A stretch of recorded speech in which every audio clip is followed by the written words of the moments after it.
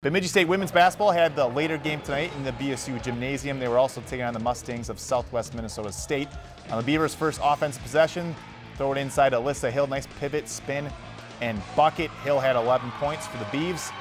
Moments later, Trinity Yoder fetches a rebound and decides to go right to the rack. Good decision. She gets two there. She ended up with 21 tonight but not quite enough to pull in front of the SWMS uh, Mustangs. Good possession here. Bree Stolzman to Peyton Blandon for three.